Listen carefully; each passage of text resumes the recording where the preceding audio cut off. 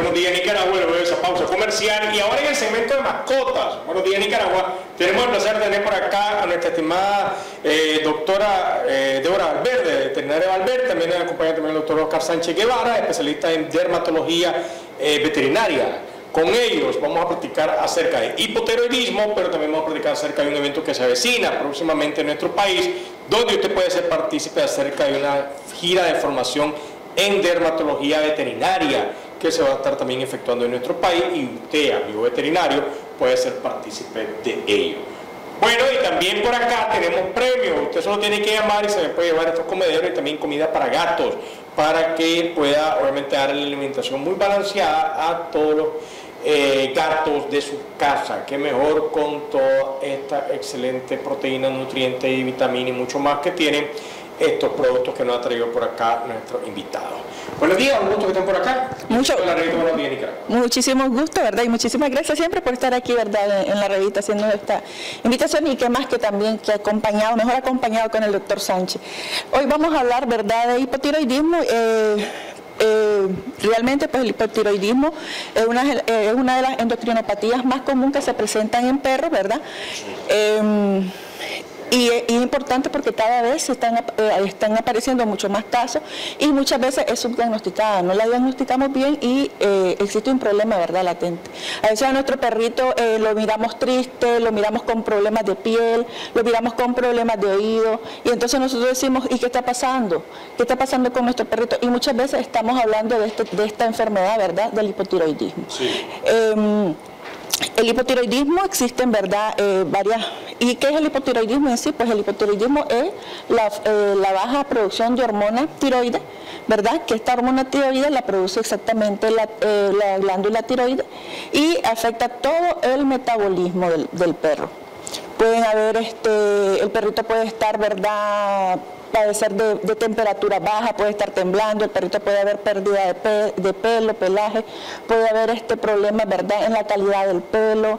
Y entonces ahí está presente el hipotiroidismo. Y es necesario nosotros encontrar, ¿verdad?, o diagnosticarla porque puede ser inclusive eh, hasta llevar a la muerte a- al perrito. Hay razas que eh, por su condición eh, pueden sufrir, eh, pueden llegar a tener esto, obviamente el hipotiroidismo, eh, usted mencionaba diferentes síntomas, o mejor dicho que un- como dueño uno puede estar atento a ello, pero eh, esta condición hereditaria, hay algo que predispone por la raza a sufrir más de esto. Hay razas que son más que tienen más predisposición, ¿verdad?, a padecer este, este tipo de, de enfermedad. ¿Qué razas son las que son? El golden, ¿Y qué condición hace que estas razas sean más ya eh, por rac- eh, racial, ¿verdad?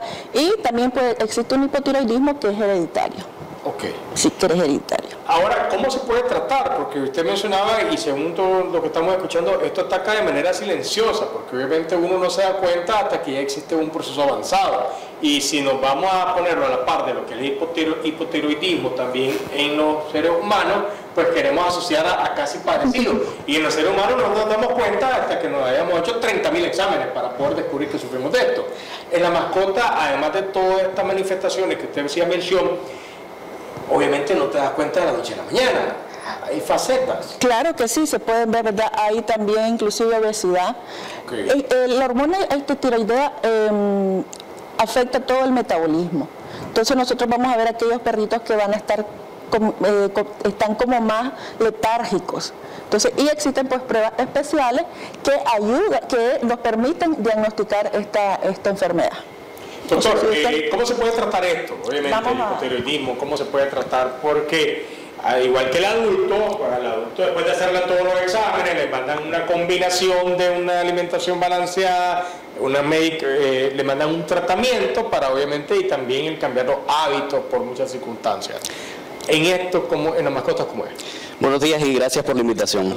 Como ya se comentó, el hipotiroidismo es una enfermedad que tiene un componente cutáneo muy importante, por eso lo vemos desde la especialidad de dermatología, pero afecta a todo el metabolismo de la mascota y por ende van a haber signos sistémicos, lo que conocemos como signos que están afectando a todo el cuerpo de la mascota.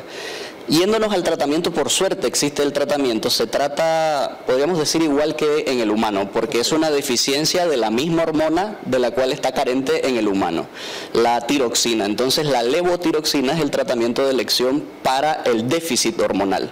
Si bien lo que comentaste es correcto, se tiene que eh, suplementar el tratamiento con otras cosas. Se suele hacer terapia tópica, se suele manejar desde la dieta, se suele manejar desde el ejercicio, hidratación para la piel, son varios aspectos aspectos que se tienen que considerar y algo que hay que recalcar muy importante ahí es que cada paciente necesita su terapia específica. No es una receta de cocina para cada paciente, si bien alguno tiene una variante de hipotiroidismo más grave o más sutil, entonces cada paciente se le hace un tratamiento ajustado a sus necesidades. Aparte, eh, eh, igual que en los de cada en los perros se puede comenzar a considerar que hay cambio.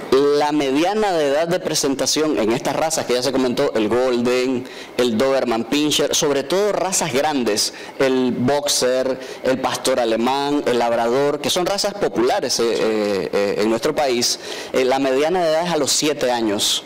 6, 7 años son perritos en los que ya podríamos estar sospechando. Un punto desde la clínica que es muy importante porque mucha gente podría estar a la expectativa y empezar a pensar, porque las condiciones cutáneas son muy frecuentes, se les cae el pelo, se rascan, tienen otitis, eso lo vemos muy a menudo. Y no necesariamente es hipotiroidismo. Y no necesariamente es hipotiroidismo. Entonces ahí viene un tip como para distinguirlo.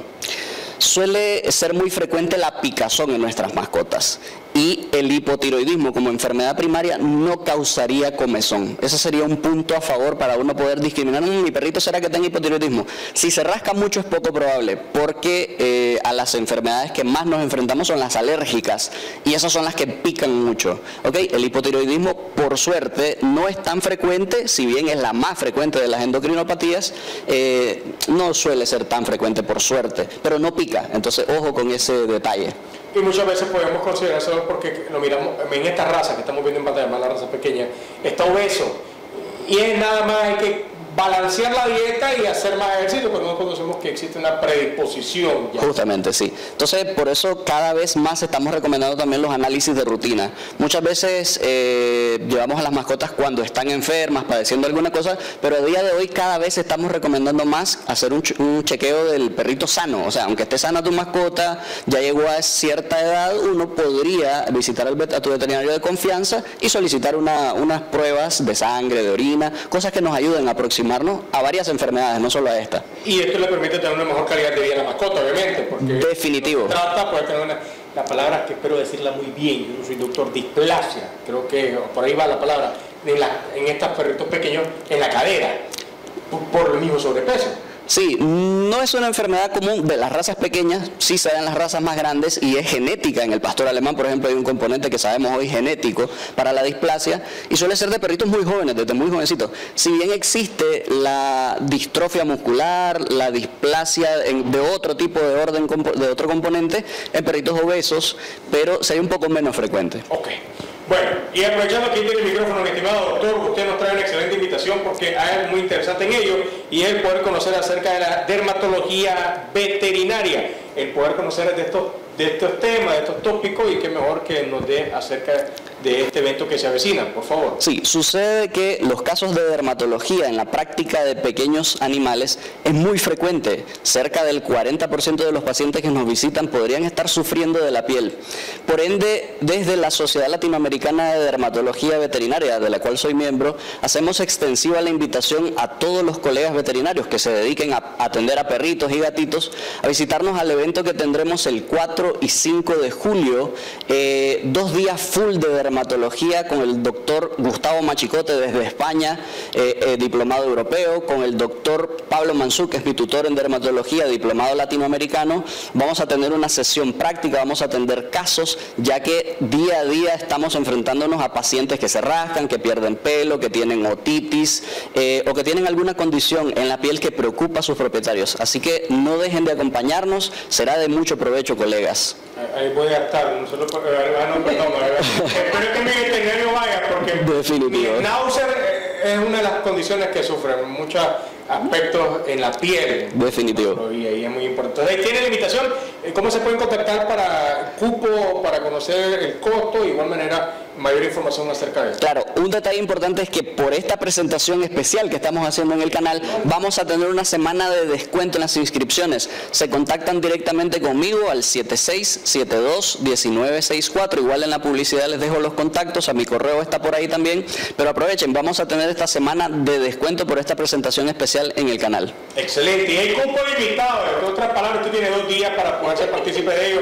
Llamen, aprovechen, llévense este descuento y puedan perfectamente ustedes ser partícipes acerca de esta gira de formación dermatológica veterinaria en nuestro país que va a ser el próximo 4 y 5 de julio en un hotel capitalino donde usted puede ser partícipe y estar al pendiente y tener eso en su currículum y conocimiento para aplicar a todos sus clientes y tener una mejor atención. ¿Cómo se puede contactar con usted para cualquier tipo de emergencia? De igual manera, ¿dónde atiende? Sí, el mismo contacto que queda en la publicidad. Estoy atendiendo en Veterinaria La Clave, Royal Pets, Mundo Animal y Steps, con mucho gusto para servirles. Ah, bueno, en varios lugares, pues ya no tiene la oportunidad. Y mi estimada doctora, por favor, coméntenos cómo se pueden contactar con usted para todos aquellos eh, perritos que están sufriendo este tipo de situación de hipotiroidismo y obviamente que requieren un seguimiento y un tratamiento. ¿Cómo se pueden contactar? Eh, bueno, estamos en Veterinaria Valverde, en Vía Libertad, y nos pueden contactar también al teléfono 8328-6708 y por las redes sociales como Veterinaria Valverde. Excelente. si tienen información de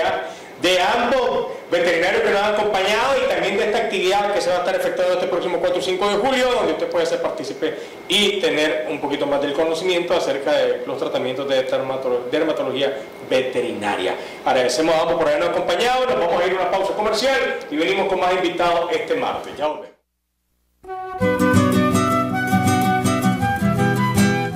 Reconocimientos, denuncias, quejas y sugerencias envíelas a Canal 12, programa Buenos Días Nicaragua, Residencial Bolonia, o llámanos a los teléfonos 2266-0691, 2266-9983, 2266-9984.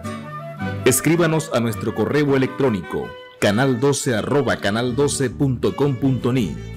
Redes sociales Facebook Noticias 12 Nicaragua, YouTube Canal 12 Nicaragua, Twitter arroba Canal 12 Nic.